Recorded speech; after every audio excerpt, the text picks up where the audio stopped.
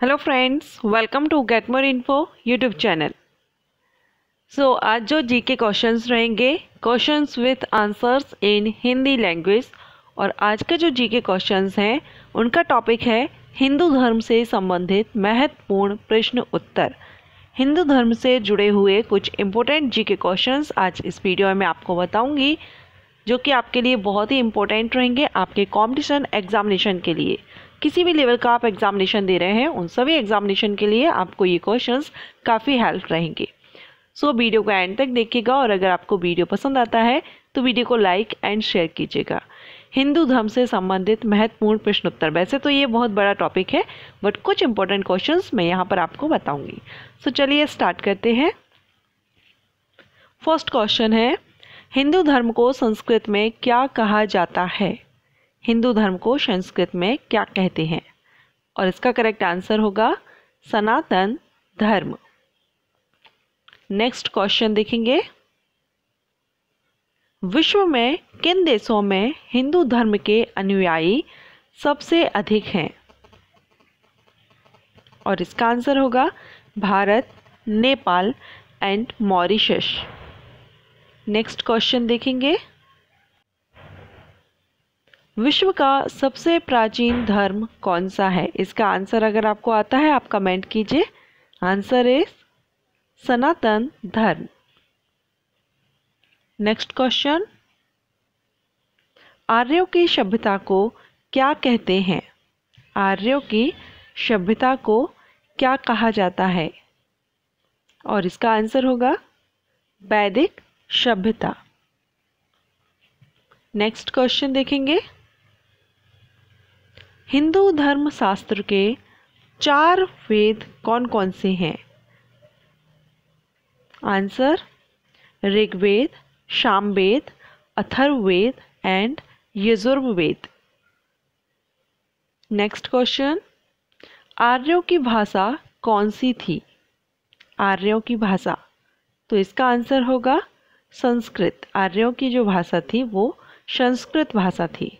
Next question अनुयायियों के आधार पर अगर हम हिंदू धर्म का देखें तो विश्व में कौन सा स्थान है?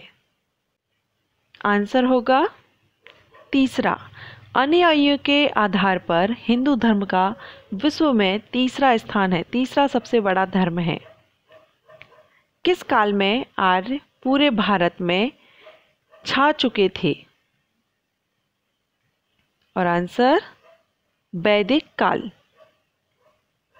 नेक्स्ट उत्तर वैदिक काल में बनने वाला सबसे पहला नगर, जिसमें पक्की ईंटों का प्रयोग किया गया था, वह कौन सा है?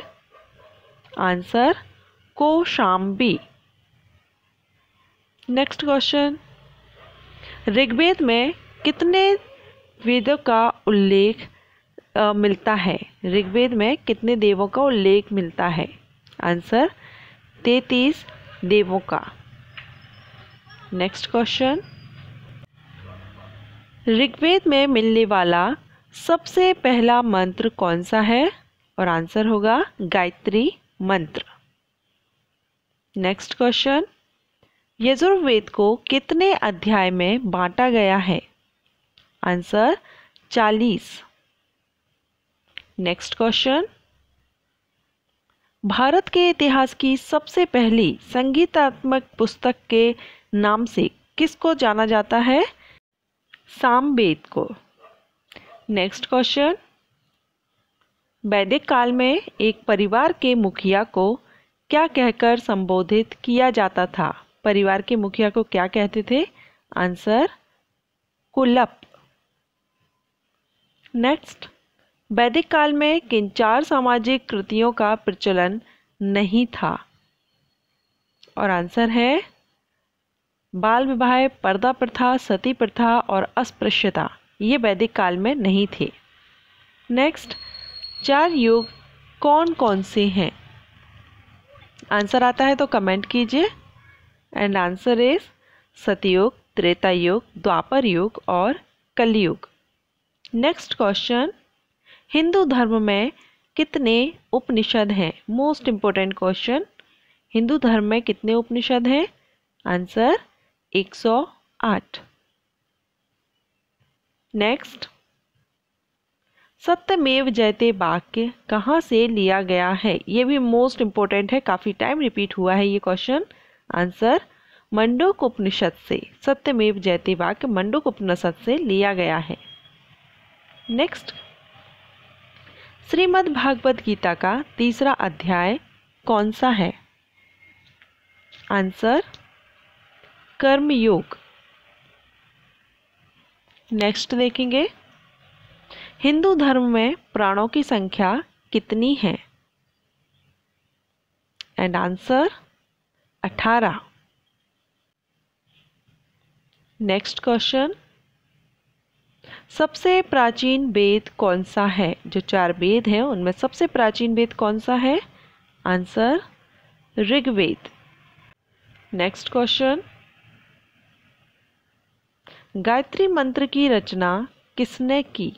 गायत्री मंत्र आज हम सभी जानते हैं, पढ़ते हैं, इसकी रचना किसने की? आंसर, ऋषि विश्वामित्र ने। नेक्स्ट हनुमान चालीसा के रचयिता कौन है? हनुमान चालीसा के रचयिता। Answer? Tulsidas ji. Next question. Hindu धर्म के पौराणिक कथाओं में किसे मिहिर कहा जाता है? मिहिर जो कहा जाता है, शब्द का प्रयोग किया गया है, वो किसके लिए किया गया है? आंसर? सूर्यदेव के लिए। लंकापति रावण के वाहन का नाम क्या था? ये भी इम्पोर्टेंट क्वेश्चन है और इसका आंसर आता है तो कमेंट कीजिए। आंसर इज़ पुष्पक विमान। रामायण की रचना किसने की? रामायण आप सभी जानते हैं, रामायण की रचना किसने की थी? आंसर इसका कीजिएगा।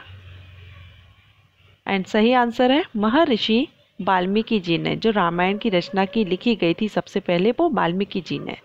रामायण के हिंदी अनुवाद, जो तुलसीदास जी का ग्रंथ है, वो कौन सा है, जिन्होंने रामायण को हिंदी में लिखा?